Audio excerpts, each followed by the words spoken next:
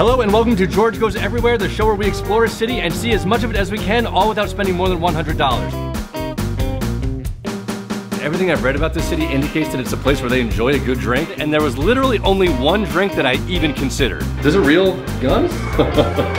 there are a lot of mannequins here. Way more than I was expecting. Whoa, look at that. Meter's going crazy. I got a ghost around me. Oh no, wait, there it goes. The ghost said goodbye. This is the most public of my many humiliations.